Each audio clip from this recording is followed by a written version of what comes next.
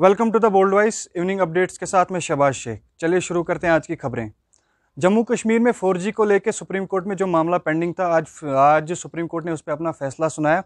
Supreme court ने यह फैसला सुनाया कि जम्मू कश्मीर में 2G ही ऑन रहेगा, बल्कि एक कमेटी बनाई जाएगी जो जम्मू कश्मीर में जम्मू कश्मीर के हालातों का जायज़ा लेगी और उसके बाद ही 4G कब ऑन करना है, वो उस कमेटी पर ही डिपेंड करेगा। होम मिनिस्ट्री ने आज एक ऑर्डर जारी किया है जिसमें जम्मू कश्मीर की एडमिनिस्ट्रेशन को ये हिदायत दी गई है कि वो प्राइवेट क्लिनिक्स जल्द से जल्द ओपन करें। वहीं former prime minister Manmohan Singh की आ, कल सेहत थोड़ी सी ख़राब थी तो उनको एक एम्स के हॉस्पिटल में एडमिट किया था। वहीं डॉक्टर्स ने आज ये क्लियर किया है कि उनकी हेल्थ में थोड़ी बहुत सुधार थोड़ा बहुत सुधार आ गया है। बात जम्मू की करें तो जम्मू से आज एक बुरी खबर आ रही है कि जम्मू में अभी फ़िलहाल दो कोरोना वायरस पॉजिटिव पाए गए हैं केसेस। ये दोनों केसेस जो पॉजिटिव पाए गए हैं दोनों क्वारंटीन थे कोट बलवाल क्वारंटीन सेंटर में और इन दोनों की ट्रैवल हिस्ट्री अहमदाबाद बताई जा रही है। और ये दो एक नगरोटा से है और एक भठंडी एरिया से है।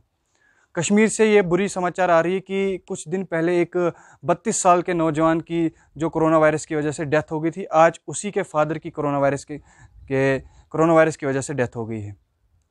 आज के लिए बस इतना ही। दीजिए इजाज़त और हमारे फेसबुक पेज को लाइक करें और यूट्यूब चैनल को सब्सक्राइब करें।